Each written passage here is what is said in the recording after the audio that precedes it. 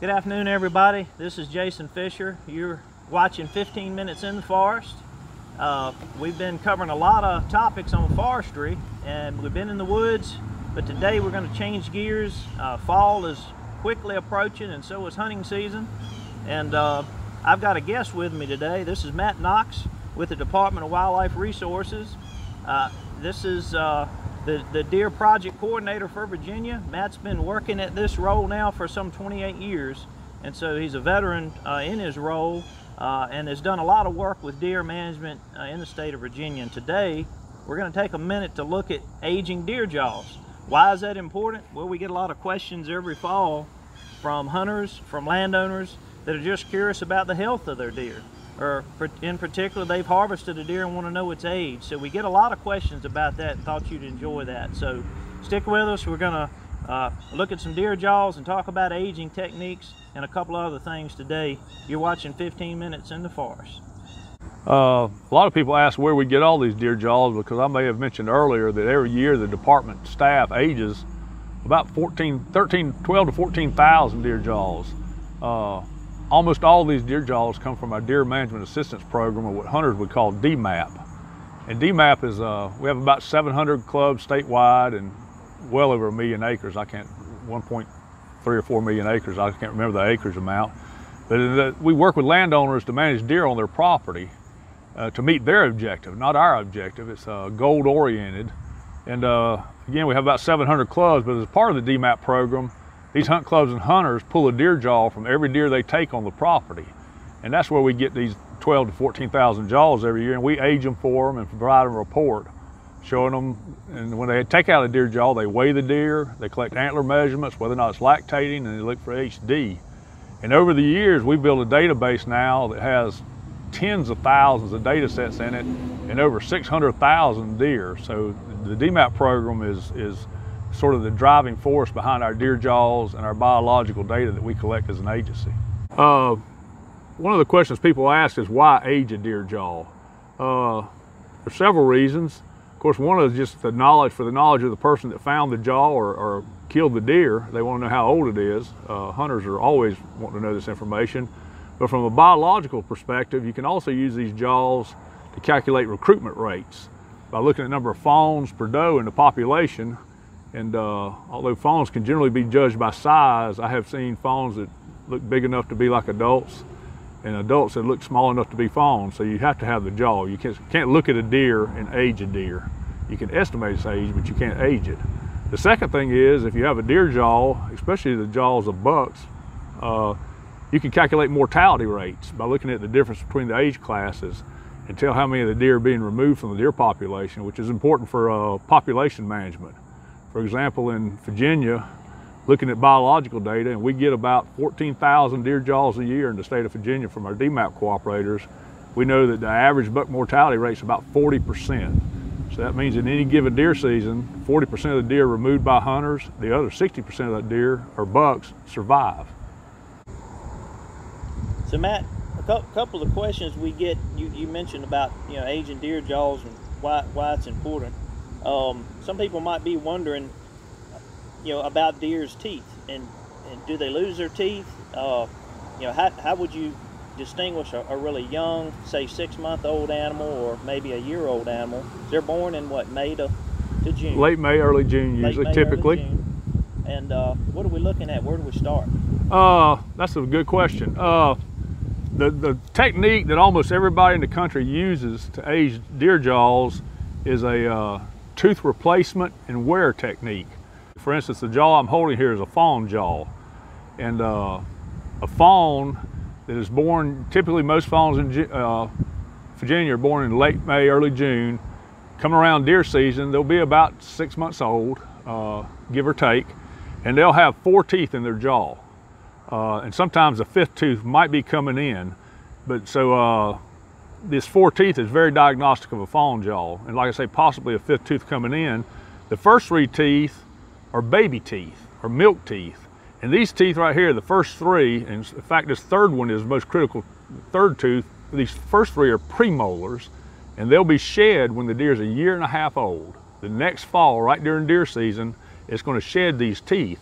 This first molar is retained it comes in by six months, the second molar will be in by 12 months, and the third molar will be in by 18 months. So using this tooth replacement method, you can age deer to a year and a half with about 100% accuracy. After that point, after a year and a half, you have to use wear, and it becomes more uh, subjective. And uh, it's pretty good at two and a half, kind of good at three and a half, but as deer get older, you're estimating the age. You're not aging a deer jaw anymore. Okay, the fallen jaw is fairly simple. There's four teeth. One, two, three, four. The first three teeth are premolars, or baby teeth or milk teeth, and these teeth will be uh, lost in a year and a half. This first tooth is a molar that came in at about six months of age. You can see the second molar beginning to come in, and then there'll be a third molar. This third tooth is very diagnostic on deer jaws because when it's a fawn, it's a baby tooth, and you see it has one, two, three parts. By the time you go to a year and a half, half a deer now has six teeth. One, two, three, four, five, six. Premolar one, premolar two, premolar three, molar one, molar two, molar three. Now this is all the teeth it will have as an adult, but I want you to notice it still has this baby tooth with three parts. One, two, three, and now it's really worn because it's about to be lost. At a year and a half of age, this tooth is going to come out. This deer's a year and a half. In fact, if you look underneath, you can see the tooth coming in underneath this one. So at 18 months of age, they lose these three baby teeth and get their permanent premolars. So this is a year and a half old deer with the tooth coming in underneath. Uh, what happens next is this. This is a year and a half old jaw. One, two, three, four, five, six teeth. So it's got all its teeth. But I want you to notice the color of these teeth. They are brand new and razor sharp. And this third tooth, which is one of the most diagnostic teeth in a deer jaw, no longer has three parts. It has two parts. That's the adult premolar. So this deer with all these teeth that just came in, one, two, three, four, five, six, is a yearling deer. This deer jaw with one, two, three, four, five, six, and the baby premolar is also a yearling jaw. So this happens in a year and a half. They lose these baby teeth and get this these adult teeth. They go from three parts. Well, they had the fawn jaw had three parts. This yearling jaw has three parts. This yearling jaw has the adult tooth. All right, Matt, so we've looked at a fawn, we've looked at a year and a half. We're going to keep going into the, the teenage years of the deer, so to speak. What are we looking at now? This is a year and a half old jaw, and again, it has one, two, three, four, five, six teeth with the three-part baby teeth for the third premolar. The unique thing about year and a half old deer is this is the year that the antlered buck will grow his first set of antlers. So deer hunters tend to see a lot of these, and, and they tend to kill quite a few, but that's a year and a half old deer. What happens when they're a year and a half old, as I mentioned before, this tooth comes in underneath, and when it comes in underneath, it comes in from a three-part tooth to a two-part tooth.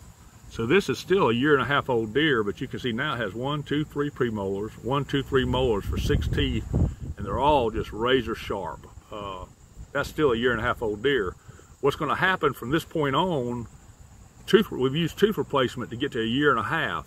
From here on out, you're going to look at wear because as the deer get older, these little sharp crests you see on the teeth wear down. As they wear down, there's little black lines that you can barely see in here that are called dentine lines, which will get wider. So this is a year and a half old deer. This is a two and a half year old deer. Now again, these beforehand I was aging deer. I'm estimating the age of this one, but you can see all the one, two, three, four, five, six teeth in, the two-part adult tooth, and it's worn here. So it's been in a while. And all these teeth are sharp. This is two and a half. This is an adult jaw with all the adult teeth that two-part tooth, and all the crests are sharp. But it's been in, this tooth has been in for a while, and you can see the wear. So that's a two and a half year old deer. I'll go to a four and a half year old deer. Now you can see one, two, three, four, five, six. All the teeth are in, and now you can see these black lines getting wider as the teeth are wearing down. Again, we would say, tell you this deer is four and a half, which means it's at least four and a half. It could be older. Now we're estimating ages. When you get to six and a half, now the teeth are really worn. In fact, not only are they really worn, you can see this tooth right here, the first one, two, three molars. The first molar is about worn smooth. We would estimate this deer at six and a half. This deer, you can't even age it. First tooth, second tooth, third tooth, premolars, first molar, second molar, third molar, all the molars are worn smooth. Our staff would call this deer eight and a half, but it could easily be a teenager. Uh, 12, 13, 14 would not be unheard of. In that case, it'd almost always be a doe. Bucks don't survive in Virginia past, much past five to seven, very rare, but does do live to older age classes. One of the questions we get about aging deer is how you can age a deer. And of course, one of the ways we've already talked about it is the replacement and wear technique that we've shown a little bit about. The second technique is you can pull this central incisor and send it out to Matson's lab out west and they can count the rings in that teeth. A lot of people ask if I'm walking through the woods and find a deer skull, can I age it? And of course, this case, this is a doe, uh, an adult doe. And you can turn it over and uh, can you age it? Not like any technique I know here. Now you can look at this teeth and as bad as they're worn, this is a very, very, very old deer. Uh, if I had to guess, I'd say eight and a half to a teenager. But there's no technique that's been described for aging deer by their top teeth. The one thing I will tell you is they have six teeth in the top just like they do in the bottom and of course there's no front teeth on a deer. But they do change these premolars at 18 months of age. So if you find one that's changing the premolars, you're looking at a year and a half old skull. But otherwise, there's no technique for aging a deer skull. Uh, can you age a deer jaw uh, by rings and mention mention bears too, and maybe how that's uh, done as a as an analogy being that same tooth? Yeah, actually you can. Uh, there's a technique where they take this central incisor right here on the lower jaw, this big flat tooth, and you can send it off to a lab out west. It's called Matson's Lab, M-A-T-S-O-N. You can go to their website, and for a cost, a hunter, and I'm going to say the cost is 25 to 50 dollars, they will take this tooth and section it and count the rings. So there is another technique. This we use wear and attrition because we're doing 14,000 deer a year and we can't afford to send them all to Matson's lab. Matson's lab can take this tooth, tooth and count rings. And I'll give you a good example. All the bears that are killed in Virginia, we collect a tooth from every bear. So last year, I forget the bear kill, but there's over 3,000 bear teeth were sent to Matson's lab and we get back ages. Uh, I have a friend that killed one in Pittsylvania County. I asked him the other day, it was 11 or 12 years old. So they count rings. They use a different tooth, but if you go to the, the website, you can see a video on how to pull this tooth, how to submit it to their lab. Let's set up close to the screen there, Matt, as close as you can get. We're looking at the incisor, which you know. The central incisor. Yep. right down the bottom and the front. Now, do they have incisors in the top of their mouth? Uh, no. Uh, Horse, horses do, but ruminants do not. Deer do not have teeth on the top, uh, behind their top lip, uh, just bottom teeth. Uh, believe it or not, there's incisors here and then there's a canine. Sometimes the deer will have a vestigial canine on their top jaw. Very rare, but I've seen two or three of them. But uh, incisors, canine, premolars, molars, a pretty typical uh, mammalian dentition pattern why is why is that, Matt? When you said uh, bucks don't live to be as old as as because they grow antlers. Because they grow antlers. Okay, and, and that turns into to them wanting to do what? It turns into hunters wanting to kill them. Yes. So being seen by hunters and yeah. and also, what about the uh, the rut? What does that do to them? Well, the, the rut gets them killed because they, they lose their sense of uh, uh, what's the sense, what's the word I'm looking for? Their caution, the sense of caution. It's the breeding season and the drive to, to breed and reproduce outweighs their, their innate caution. So bucks get killed during the rut because uh, they're looking for does. Outside of that rut, old bucks are almost immortal or invincible because they're just they just don't walk in. You don't get to be an old buck by walking in front of deer hunters. So uh, the age of bucks is, is very highly related to hunting pressure. Now in places where people pass up young small bucks, you'll find more older bucks. But where people don't do that, very few bucks survive to three and a half and virtually none survive to five and a half.